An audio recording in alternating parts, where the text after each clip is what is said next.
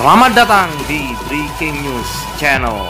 Update singkat padat. Kami cuma menyajikan Anda yang memutuskan.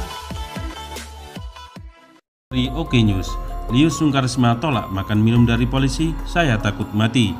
Juru kampanye BPN Prabowo Sandi, Lius Sungkarisma merasa tak adil atas menangkapannya terkait kasus makar. Usai ditangkap, Lius menolak minum dan makan yang diberikan oleh polisi. Saya terang-terangan gak berani minum yang lain kecuali yang dari keluarga saya.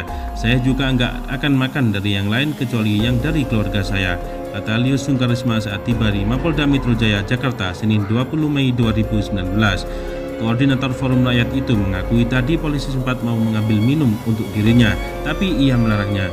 Saya nggak kasih, baik sih mau dibawain tapi saya takut, ujarnya. Apa alasan Lius Sungkarisma hingga tak berani makan dan minum dari pemberian polisi? Takut mati, jawab aktivis Tionghoa itu. Lius berjanji akan menghadapi semua tuduhan makar yang dialamatkan kepadanya. Menurutnya, apa yang dilakukan adalah berjuang untuk kedaulatan rakyat. Lius Sungkarisma ditangkap pagi tadi di apartemen Hayam Huruf Jakarta setelah ditetapkan sebagai tersangka kasus makar. Sebelum menciduk Lius, polisi juga sudah menahan politikus pro Prabowo Sandi Egy Sujana juga atas tuduhan makar.